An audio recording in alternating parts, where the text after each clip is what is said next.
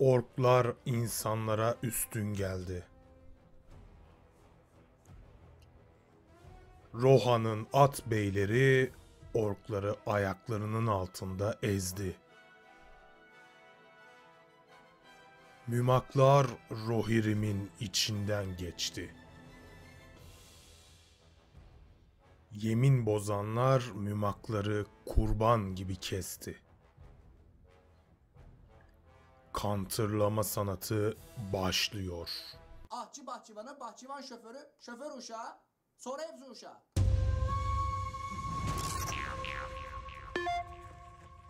Hoş geldiniz oyun militanları. Ben Yaşar. Karşınızda yepyeni bir Lord of the Rings Rise to War videosuyla birlikteyim.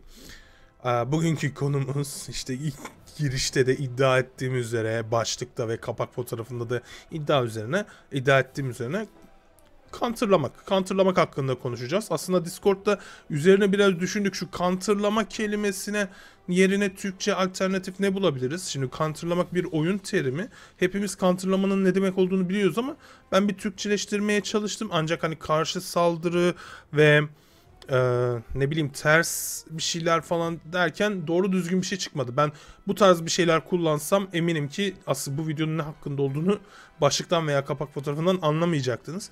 Dolayısıyla mecburen counterlamak kelimesini kullanıyorum. Türkçemiz bu konuda yetersiz olduğu için e, yetersiz kaldığı için üzgünüm. Yani yapabileceğim bir şey yok. Mecbur counterlamak diyeceğiz. E, counterlamak rakibin güçlü yönüne ya da rakibin durumuna göre karşı bir şeyler yapmak. Rakibin biriminin zayıf yönlerini kullanıp kendi güçlü yönlerimizi ortaya çıkararak counterlamış oluyoruz. Ee, bu oyunda da en çok mekanikler bunun üzerinden çalışıyor açıkçası. Ee, bir ırkla savaşırken vesaire onların genellikle T4 birimini counterlamak üzerine e, kompozisyonlar yapıyorsunuz. Peki counterlamak sadece birim üzerinden mi oluyor? Hayır aynı zamanda komutan üzerinden de counterlama e, işlemleri gerçekleştiriliyor. Yani komutanlar da birbirlerini counterlama gibi bir muhabbeti oluyor. Ee, ancak birim counterlamak da önemli. Hani komutan counterlamak çok daha önemliymiş gibi görünse de birim counterlamak da önemli. Çünkü sonuçta savaş nasıl sonuçlanıyor? Bir tarafın birimi kalmayınca kaybetmiş oluyor. Yani kıtanızda asker kalmazsa rakip ne oluyor? Sizin komutanınıza vuruyor. Komutanınız yaralanınca da geri dönüyor. 10 dakikada yaralı kalıyor. Savaş böyle sonuçlanmış oluyor. Ee, dolayısıyla birim counterlamakta komutan counterlamak kadar önemli. Bugün biraz bunlardan bahsedeceğim. Hani şu anda ikinci sezon sonlarında olan bir oyuncu olarak e, size en çok kullanılan counterlama çeşitlerini vesaire anlatacağım. E, umarım yardımcı olabilir bu video elimden geldiğince. Hadi bakalım. E, şimdi kötü taraf ve iyi taraf ve kötü tarafın en bilindik counter'ı, en bilindik birbirlerini counterlama yöntemi şu. Kötü tarafın e, büyük birimleri var. Ve bu troll oluyor. İşte e, mümak oluyor falan. Kötü tarafın kullanabildiği büyük birimler varken iyi tarafta da e, cücelerin balta atıcısı, elflerin de atlı okçusu e, bu ikisinde büyük birimlere hasar becerisi var birim olarak. E, birimlerde bu beceriler var en büyük counter çeşidi buna diyebiliriz. En bilindiği budur. Eşit şartlarda tabii arkadaşlar karşınızdakinin balina olduğuna falan bakmıyoruz biz burada. Ee, karşınızdaki sizinle eşitmiş gibi düşüneceksiniz. Ee, her zaman eşit birileri denk gelmez her ne olursa olsun. Ben yine de burada e, durumlar eşitmişcesine yapılacak hamlelerden, counterlama şekillerinden bahsedeyim. Ee, dediğim gibi büyük, e, büyük birimleri counterlamak için cücelerin balta atıcıları ve elf okçularını, elf atlı okçularını kullanıyorsunuz. E, trolleri e, ve mümakları counterlamak için. Tabii mümaklar çok daha güçlü. Mümaklar inanılmaz güçlü arkadaşlar. Mümaklar fazla güçlü. Sadece bu balta atıcılar falan yetmiyor. Evet mümaklardan bahsetmem gerekirse mümaklar da T4 birim ve onlar da aa, büyük birim şeklinde geçiyorlar. Kendileri büyük birimler ve alınan fiziksel hasarları azaltıyorlar. Üstüne üstlük e, her zaman tüm düşmanlara ve müttefiklere saldırıyorlar. Bu yüzden mümak kullanırken oyuncular mümakları e, tek başına kullanıyorlar. Özellikle Lurs Mümak ikilisi e, çok güçlü oluyor. Çünkü Lurs tamamıyla komutan hasar var, verirken Mümaklar da 1200-1500 hasarları var. Artı 8000 HP'leri ve 100 savunmaları var. Çok dayanıyor. Mümaklar inanılmaz dayanıklı. Dayan çok dayanıklı oldukları için de Lurs komutan hasarıyla indiriyor. Ee, mümakları counterlamak için e, tek birim kullanmayı deneyebilirsiniz. Ee, nasıl söyleyeyim sizlere? Sadece elf atlı okçularından kullanılan ve sadece elf, atlı okçularından oluşan bir kıta veyahut da sadece cüce balta atıcılarından oluşan bir kıta oluşturabilirsiniz. Mümak counterlamak için çünkü e, tüm düşmanlara aynı anda saldırıyor. Tüm düşmanlara ve müttefiklere aynı anda saldırıyor mümaklar. Yani bu ne anlama geliyor? Sen şimdi 3 çeşit birim koyarsan ya ben balta atıcımın önüne de T4 cüce koyayım e, dersen mümak hem T4 cücene vurur hem balta atıcına vurur. Yani iki katı hasar vurmuş gibi oluyor. Sen o yüzden eğer mümak counterlamak istiyorsan e, tek birim kullanacaksın abi. E, mümaklar böyle problem bir birim. Ancak mümakları counterlamanın daha kolay bir yolu var. O da e, Gondor'un topraklarında bulunan, Gondor ile Rohan arasında bulunan ölüler, e, yemin bozanlar. E, yemin bozanlar e, fiziksel hasarın %90'ını yok sayıyor arkadaşlar. Ve Lurtz, hani Lurtz mümak ikilisi kullanıyor ya, saygı 3 Lurtz ile full mümaklı bir kıta ile çok kırık bir build elde etmiş oluyorsunuz. Çok güçlü bir kıta elde etmiş oluyorsunuz. E, Lurtz tamamıyla komutan hasarı ve fiziksel hasar. Ee, aslında bu burada, burada mümakların dayanıklılığı öne çıkıyor. Dolayısıyla ölülerin bu kıtaya karşı güçlü olmasının sebebi de bu. Ölüler önceden tamamıyla sıfır fiziksel hasar yiyorlardı ve çok OP'diler. Sadece odak hasarı ve yakma hasarı gibi şeylerle vurabiliyordunuz yemin bozanlara.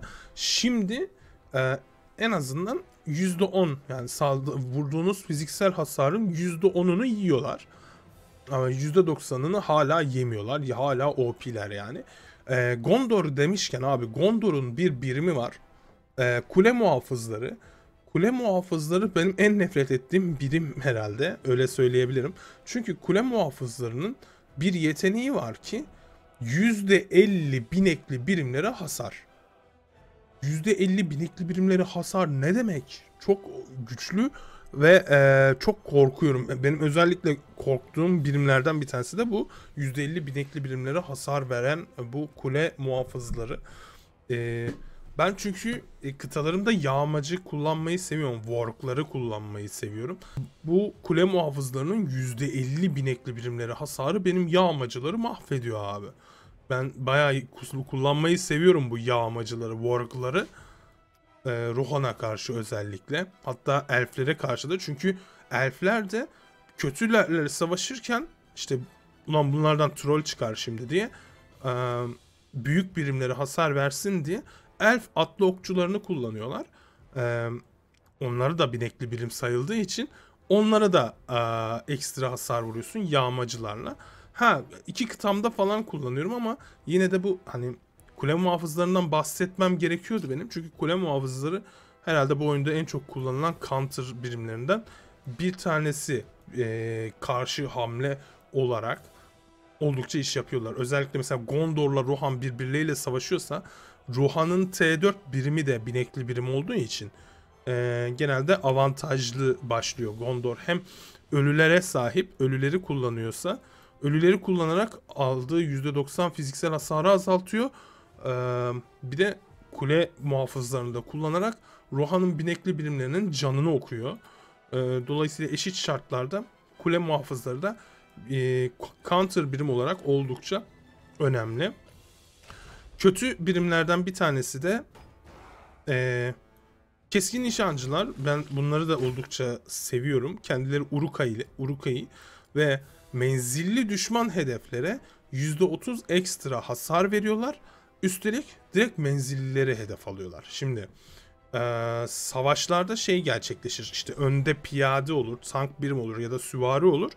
Arkada okçu olur. Önce piyadelerle ve süvarilerle savaşırsın.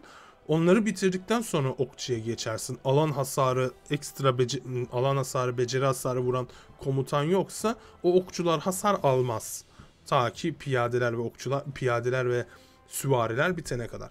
Ama keskin nişancı kullanıyorsanız rakibinizin o asıl DPS olan okçularını direkt hedef alıyor bu keskin nişancılar. Oldukça iyi counterlar kendileri. Eee, keskin nişancılık counter keskin nişancı rakibin okçularını counterlamak konusunda oldukça iyi. Özellikle elflere karşı savaş veriyorsanız. Ben genellikle elflere karşı savaş verirken mesela şöyle bir şey yapıyordum. Elfin atlı okçuları hem atlı hem menzilli birim ya böyle. Hem keskin nişancı hem Warg'la böyle e, yağmacıyla bir kıta yapmıştım. Bir de üstüne şu vahşi mızrakçıları kullanıyordum. Vahşi mızrakçılar da menzilli birimlerden alınan hasarı %30 azaltıyor. Bu üçü tam bir okçu counter'ı, menzilli birim counter'ı oluyordu ve elflerin canını böyle okuyorduk biz. Ee, güzel counter e, counterlamış oluyorsunuz. Öyle aklınızda bulunsun dedim. Hep böyle birimlerin becerileri üzerinden işte bu Bak büyük birimlere fazla vuruyormuş. Bak bu menzillilere hedef alıyormuş. Bak bu işte bineklilere vuruyormuş falan şeklinde örnek verdik ama statlar statlar ve e, birimlerin özellikleri konusundan da e, birim- birimlerin özelliklerinden de counterlama ihtimali doğabiliyor. Mesela e, örnek vermem gerekirse cücelerin T4'ü oyundaki en yüksek savunmaya sahip birimler ve çok güçlüler. E, çok yüksek savunmaları olduğu için onları fiziksel hasarla yenmeniz mümkün değil. Genellikle ben birinci sezonda çok fazla karşılaştım. T4 cüceyle kullanılan Dvalinler, e, T4 cüceyle kullanılan Gimliler gördüm. E, Ve yenmesi oldukça zordu. Ta ki bunlara ateş hasarı vurmaya başlayana kadar, ateş hasarı kullanmaya başlayana kadar. Hani karşınızda T4 cüce kullanılıyor. Adamlar full T4 cü- cüce spamlıyor. Yani eee, sürekli bunu görüyorsunuz. E, yapacak ne var? E, simyacı birim olarak kullanabileceğiniz simyacılar veyahut da yağmacı korsanlar. Şimdi ben biraz daha yani iki sezondur kötü ırklar oynadığım için e, çok fazla kötü ırktan bahsediyor olabilirim ama elimden geldiğince de iyi ırktan bahsetmeye çalışıyorum.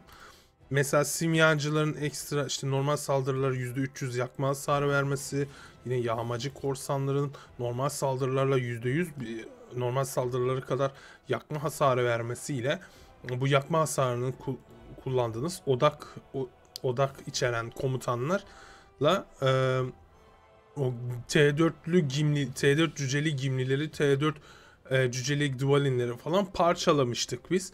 Yani ateş hasarı şöyle düşünebilirsin hani o savunma sonuçta ama fiziksel hasarı savunuyor abi. Adam fiziksel hasar savunuyor. Sen bu durumda yakma hasarı, zehir hasarı gibi. Zehir hasarı çok kullanmanızı tavsiye etmiyorum. Çok fazla iş yaradığını görmedim ben bu zehir hasarı olayının ama ateş hasarı oldukça işe yarıyor. Ee, çok işe yarıyorlar. Ee, o da ateş hasarı. Tamamıyla savunmayı yok saydığı için eti, ete vurmuş gibi oluyorsunuz. Armor'u geçip etine vurmuş gibi oluyorsunuz. Gandalf, yani bizim biz Gandalf'ı counterlarken bir tık sıkıntı çektik. Yani Gandalf iyileştirmesi yüksek ve hasardan kaçınma özellikleri mevcut. Şimdi Gandalf e, komutan olarak birimlerini hayatta tutuyor. E, birimlerini hayatta tuttuğu için kar topu etkisiyle kazanıyor. Gandalf'ın birimlerini koruması, Gandalf'ın birimlerini yaşatmaması için ne yapmam gerekiyor? Bir şekilde o komutanı sersemletmem veyahut da delirtmem gerekiyor. Hani burada e, bazı delilik komutanları var mesela kötü tarafta. E, ancak bunlar şans ihtimaliyle mesela iki düşman hedefe diyor. E, rakipte 3 birim combo var. Bir de komutan 4. İşte o iki hedef komutana denk gelmeyebilir. Sauron'un ağzında da keza. Ama mesela Grima'da yetenek olarak solucan dil var ve e, garanti olarak delilik oluşturuyor ve bunu komutana atıyor. Kesin olarak komutana atıyor. Komutanın odağını da düşürüyor.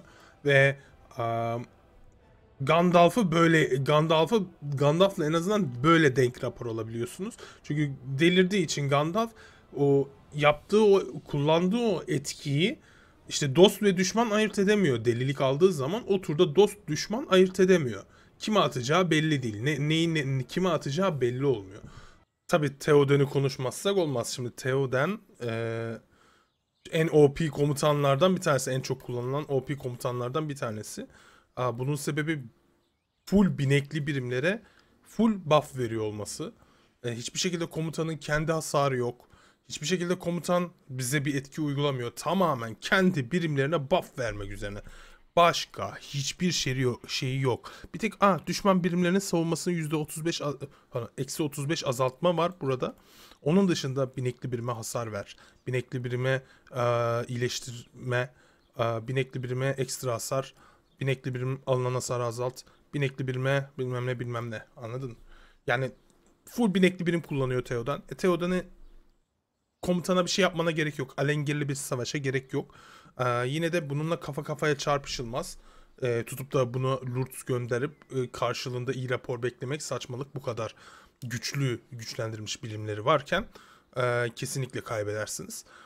Ee, Theoden'in birimleri madem, madem Theoden birimlerini çok güçlendiriyor o zaman birimleri birimlere kırdıracağız. Bu sefer komutana delilik, komutana sersemletme değil. e, birimlere sersem birimlere sersemletme, birimlere aa, delilik uygulamaya çalışacağız biz e, Theoden'le savaşırken. Aynı zamanda birimlerini de counterlamakta fayda var ki e, bu da işte kötü insanlardan e, nerede? Ya ben, ben Lurs'la orada dayak yedim ama nereden bilebilirdim içeride Theoden olduğunu bilemezdim tabii ki. Aa, aslında bu oyuna bir casus mekaniği lazım. Kesinlikle. Am, İsmini unuttum ya. Neredesin ha? Baltalı askerler. Şu elemanlar %50 binekli, binekli birimleri hasar. Bir Theoden'le karşılaşıyorsan bu kesinlikle içinde olmalı. Bu da olmalı. Hem kötü insanlara hem orklara buff veren hem de delilik atan bir komutanla Theoden'e karşı girdiğinde kesinlikle aa, kaybetme şansın yok diyebilirim yani. Theoden'i eminim böyle ezersin. Sadece benim fırsatım olmadı öyle söyleyeyim. Bu komutan full counterlama üzerine zaten elf felaketi, cüce felaketi, insan felaketi gibi becerileri var ya. Ne, yani Rohan'la Rohan'la ve şeyle savaşıyorsan, Gondor'la savaşıyorsan malum T4 birimleri insan olduğu için insan felaketi e, şart oluyor. Onun dışında işte tabii ki R5 kurban lazım. İşte elfle savaşırken yani diyelim kurbanınız varsa abi cüce ya da elften birini müttefik alıyorsunuz. Cüce diyelim ki cüceyi müttefik aldınız. Elf felaketi, yüzük tayfı ve e, insan felaketi. Şöyle bir şey açıyorsunuz. Müthiş. Her şeyi counterlayabiliyorsunuz. Hani kurban ile kurbanı kurban kurbanı nasıl counterlıyorsunuz? Yani muhtemelen kurbanın statlarının üzerine çıkmanız gerekiyor diye düşünü- düşünüyorum. Başka çaresi yokmuş gibi sanki kurban komutanının. Ya ekranımda müthiş bir counter örneği düştü abi. Onu göstermeden geçemeyeceğim şu anda. Dünya chatte gördüm. Bir Legolas ve bir Dain Demirayak savaşı. Şimdi Legolas işte birimlerini kullanmış vesaire ancak Legolas'ın bildiğiniz üzere tamamıyla fiziksel hasar komutanı ve şöyle yeşil yaprak özelliği de savunma değeri en düşük birimi %480 fiziksel hasar vermek üzerine bu komutan. Hani e, savun rakipte savunma değeri en düşük birim ne anlama geliyor? Aynı zamanda rakibin en yüksek hasarlı birimi o anlamına geliyor. Öyle değil mi? Hani rakibin rakibin rakipteki birimin hasarı yüksekse savunması düşüktür. Hani birimlerde de öyle bir denge vardır. Hasar yüksekse savunma düşüktür. Savunma yüksekse hasar düşüktür. Ee, dolayısıyla savunma değeri en düşük birime %480 hasar veren bir komutan. Karşısına adam neyle çıkmış abi? Dain Demirayak ve Full T4 cüce. Ulan savunması düşük değil ki. Yani tek birim çıkmış. Karşıda savunması düşük birim yok. Dolayısıyla ye- yeşil yaprak becerisi savunması en düşük birim olarak burada cüce demir savaşçıyı görüyor ve mecbur onunla savaşıyor. Müthiş bir counter. Al sana müthiş bir counter yani. Böyle çok iyi denk geldi bu sırada bu videoyu anlatırken bunu görmüş olmam. Mesela T4'üm olmadan e, herhangi bir şekilde T4 kullanmadan Lurtsuma, T3 troll, keskin nişancı ve bozguncu iki tane de Urukay'ı kullanmışım. E, trollerimde hasarı kışkırtsın rakibi, hasarı tanklasın diye kullanmışım. 47 level Lurtz. Hani biraz daha e, 50 level olsa falan 290'lara falan çıkacak. Ancak e, rakip rakipler T4 kullandığı için Hani rakip T4 kullandığı için şöyle puanlara çıkabiliyorlar. Şuradan aa, bakayım. Evet. Faramir'e bakarsanız şöyle 3333 tane T4 kuğu, kuğu şövalyesi kullandığı için aa, gücüne bakar mısınız? 460 bin güç. Hani Faramir. 461 güç Faramir gelmiş. Çünkü neden full içerisinde T4 yani birimlerin yarısı T4 birim ne kadar yüksek ne kadar fazla T4 birim kullanırsanız ordunuzda o kadar güçlü oluyor. T4 birimlerin farkı büyük yani anlayacağınız. Burada 47 level Sauron'un Sauron'un ağzı e, T4 birim 1200 sadece 1300 T4 birim kullandığım için mesela benimki yine 293 binde kalmış. Sauron'un ağzının itemleri de o kadar yüksek değil. Saygısı da sadece 5. Hani daha hani ben de buraya 3000 tane falan 4000 tane falan T4 birim koysam benim de gücüm mesela kıtamın gücü buralara çıkabilir e, anlayacağınız. Dolayısıyla e, sözün özü e, ırkların en güç yani birim counter'ı konusunda ırklar T4 birimlerini çok kullanırlar. Genellikle bir ırkla savaşıyorsanız o ırkın T4 birimini çokça rakip ordularda göreceğiniz anlamına geliyor ve rakip orduları ona göre counterlamanız gerektiğini e, söyleyebilirim. E, bu, bunu göz önünde bulundurmanız gerekiyor. İşte Rohan'la savaşırsanız e, karşınızda bol bol Rohan T4'ü, at binekli birim göreceksiniz ve binekli birim counterlayacaksınız. Gondor'un da T4'ü, Kuğu Şövalyesi ve binekli birim. Lothlorien'le savaşırsanız okçu counterlamanız gerekiyor. Cüce ile savaşıyorsanız e, savunması çok yüksek bir piyade yakın dövüş birim. O savunmayı deşmeniz gerekiyor yakma hasarıyla, odak hasarıyla vesaire anlayacağınız. Ee, herhalde counterlamak için counterlama konusunda konuşabileceklerim bunlar. Hani size şu şunu counterlıyor, bu bunu counterlıyor şeklinde bir video bekliyor olabilirsiniz. Ancak e, böyle bir şey yaparsam zaten o video bitmez. O kadar çok birbirini counterlayan şey var ki sizin biraz daha bunu anlamanız lazım. Eee doğru yerlerde doğru şeyleri kullanmanız lazım. Yani balık almayıp balık tutmayı öğrenmeniz lazım. Ben de elimden geldiğince bu videoda onu sağlamaya çalıştım sizlere. İzlediğiniz için çok teşekkür ederim. Sonraki e, Lotur Rise to War videolarında görüşmek üzere. Beğenmeyi ve abone olmayı unutmayın. Kendinize iyi bakın. Hoşçakalın. Görüşmek üzere. Bay bay.